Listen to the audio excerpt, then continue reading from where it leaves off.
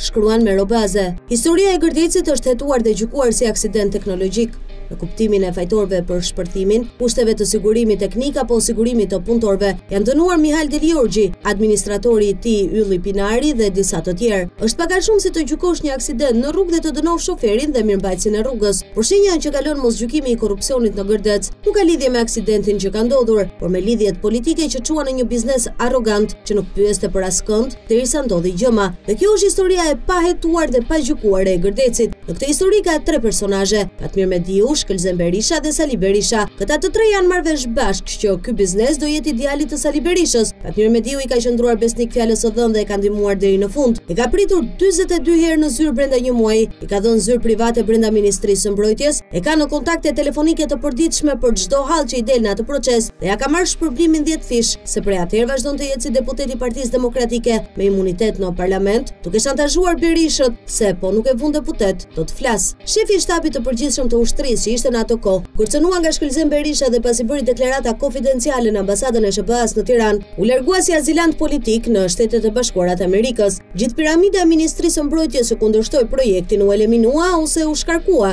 zëvendëskryeministri Ilir Rusmali, që refuzoi të bënte një VKM që ky biznes t'i jepej drejtpërdrejt pa garë kësaj kompanie, u sulmua muaj më vonë derisa u detyrua të dorëhiqet nga qeveria, vazhdon të konsiderohet armik i familjes Berisha. Madje sot, Berisha jep prova që pranon më lehtë njerëz të Edi Ramës sesa ish-zëvendëskryeministrin e tij dhe për poste pa ndonjë rëndësi reale si kryetar KQZ-je apo avokat i popullit. Historia e Partisë Demokratike prej pesëmbëdhjetë marsit dy mijë e tetë e ka kthyer besnikërinë ndaj atij krimi në kriter për të avancuar në karrierë nën Sali Berishën apo për t'u eliminuar prej tij. Prokuroria nuk e hetoi korrupsionin në tragjedinë e Gërdecit. Nuk e lejoi Sali Berisha me presionin e tmerrshëm ndaj tyre, por dhe nuk u gjet ndonjë prokuror që t'i bënte ballë atij presioni. Aq fuqi kishin në atë kohë dhe aq hapësira politike kishte. Sot SPAK nuk mund të tallet më me atë histori duke e trajtuar si një çështje për t'u pastruar. Plikimi i Shkëlzen Berishës në Gërdec është i dokumentueshëm dhe i provueshëm në çdo detaj. Më poshtë po ofroj disa prej fakteve që janë publike. Një javë më parë, kur një person me probleme mendore goditi Sali Berishën që po udhëhiqte një protestë kundër Bashkimit Evropian, lajmi i parë rreth agresorit e lidhte edhe atë me historinë e Gërdecit. Kushëriri i tij ishte punësuar në Gërdec, pasi nëna e tij punonte pastruese në shtëpinë e Sali Berishës. pra, edhe të punësuarit në Gërdec. Shkëlzeni i kishte mbledhur nga rrethi i njerëzve të shtëpisë, burrin e tezes, djalin e pastrueses, shokun e tij Rrahmanin, kushërinjtë e tij e të tjerë. Historia e fshehjes së këtij krimi ka nisur pak minuta pas tragjedisë në zyrën e kryeministrit Sali Berisha. I njoftuar për tragjedinë, ai ka nisur me kujdes fshehjen e provës së parë dhe më të rëndë kundër tij, praninë e baxhanakut të vet, tashmë si viktimë në këtë tragjedi. Komunikata e parë për shtyp e tij përmendte emrin e baxhanakut, por të ndryshuar nga Muhamet Hoxha në Mehmet Hoxha. Në pamjen filmike të transmetuar publikisht dhe të lexuar me zërin e tij, vërehet një pauzë para se të përmend emrin dhe me qetësi e lexon Mehmet në vend të emrit Muhamet. Deri tani janë identifikuar emrat e tre viktimave, Rajmonda Tudi, 40 vjeç, Mehmet Hoxha, 59 vjeç, Jetmir Kolloshi, 19 vjeç, ndërsa dy nga viktimat janë ende të paidentifikuara. Katër prej tyre janë gjendur në vendin e shpërthimit, dhe një tjetër më tutje. Për gjithkënd që e shikon me vëmendje atë moment, kuptohet qartë se si hedh sytë mbi letër, heziton, i mban sytë mbërthyer mbi emrin e tij, prishet në fytyrë dhe pastaj e lexon Mehmet në vend të emrit Muhamet. Është vetëdija e njeriut që në atë moment vendosi të fshehë një krim. Përpjekja e tij që në momentet e para të tragjedisë për ta devijuar të vërtetën larg tij dhe familjes së tij, ishte dhe mbeti linja politike që po e varros këtë të vërtetë. Këtë ngatërresë të qëllimshme emri, Berisha e përdori dhe dy ditë më pas në sallën e parlamentit të Shqipërisë. Edhe pse familja e tij ishte familjarizuar me tragjedinë, edhe pse gruaja e tij Liri Berisha dhe dy fëmijët e tij ishin në ceremoninë e varrimit të baxhanakut të tij,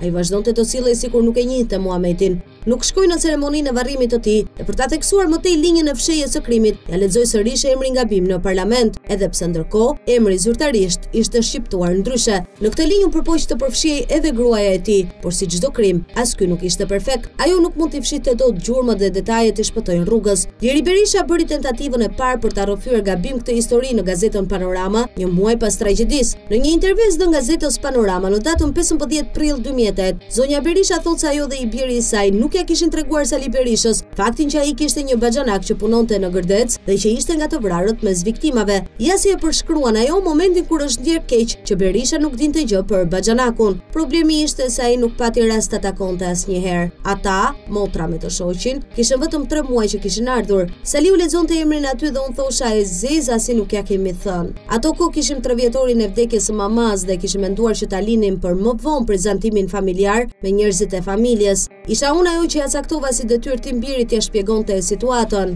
Shpjegimi i zonjës Berisha ka disa mangësi thelbësore. Mangësia e parë ka të bëjë me vetë imazhin e familjes Berisha dhe marrëdhëniet perfekte që ata kanë si çift. Çifti Berisha shquhet për raporte shumë të sinqerta me njëri-tjetrin dhe marrëdhënie shumë të mira. Në një raport të tillë familjar, që kurrsesi s'mund të besojmë se është hipokrit, mund të ndodhë që zonja Berisha të mos i ketë folur asnjëherë burrit të saj për baxhanakun, i cili po punonte në një punë, që kishte rekomanduar djali i tyre. Por hijet e dyshimit rriten më poshtë, kur zonja Liri Berisha tregon se si ka mësuar që kunati i saj po punonte në Gërdec. Kur një ditë shkojmë në varreza tek prindërit e pyes motrën nëse i shoqi kishte filluar punë, dhe ajo më tregoi se po punonte diku afër Marikajt. Kur e pyes se çfarë bën ajo m'u përgjigj, mban ca arka municionesh.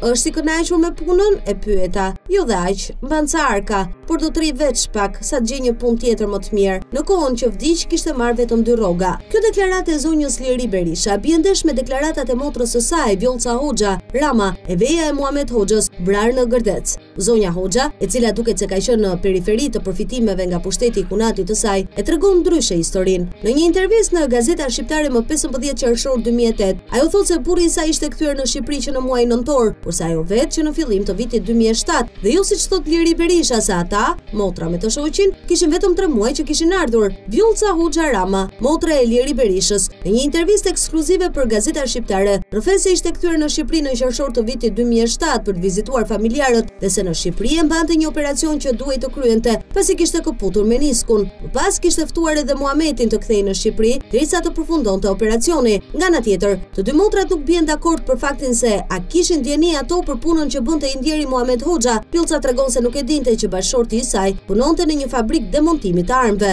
Po, si mendoni ju, që po ta kisha ditur do lejoja që im shoq të punonte aty? Unë me të vërtetë s'jam e pasur, kam punuar si gjithë shqiptarët e tjerë nëpër Evropë, tri punë në ditë, nga guzhiniere tek pastruese, por nuk isha duke vdekur nga uria që të lejoja që im shoq të punonte aty në mes të rrezikut, thotë gjatë intervistës së saj Vjollca Hoxha Rama. Ndryshe nga kjo, zonja Liri Berisha në intervistën e saj thotë, kur e pyes motrën se çfarë bën burri, ajo m'u përgjigj mban ca arka municionesh. Këto lajthitje të zonjës Berisha në intervistën e saj publike për Gërdecin, dëshmojnë se ajo ose nuk është e sinqertë me opinionin publik, ose nuk ka qenë e sinqertë me motrën e saj dhe bashkëshortin e saj Sali Berisha, Motra e saj provon se ka qenë me burrin në Shqipëri prej vitit dy mijë e shtatë dhe se nuk e ka ditur se burri i saj punonte mbajtës arkash municionesh. Dëshmitë rreth Gërdecit dhe hetimet e bëra nga prokuroria provojnë në të vërtetë që Muhamet Hoxha nuk mbante arka, por numëronte arka dhe ishte një lloj përgjegjësi në këtë punë. Kësaj gënjeshtre i shtohet gënjeshtra e Shkëlzen Berishës, që thotë njësoj si babai, se nuk e njihte burrin e tezës që kishte punësuar në Gërdec, ndërkohë që Liria, nëna e tij, provon që u thoshte fëmijëve, e zeza si nuk i treguam Saliut. Ndërkohë që Berisha gënjente publikisht për emrin e baxhanakut të tij, duke shpresuar se shqiptarët nuk do ta mësonin këtë të vërtetë, i biri i tij Shkëlzen Berisha Fliste në telefon me Mihal Delijorgjin, tabulati i zbardhur prej prokurorisë, provon se Shkëlzen Berisha ka folur në orën 12:48 minuta në telefon me Mihal Delijorgjin, madje nëse i hedh një sy tabulateve të Delijorgjit, shikon se njerëzit më të afërt me të cilët ai ka ndarë shqetësimin për tragjedinë që ndodhi në tridhjetë minutat e para, janë gruaja e tij, kunati, Shkëlzen Berisha dhe Ilir Meta. Por sërish tek intervista me Ylli Rakipin,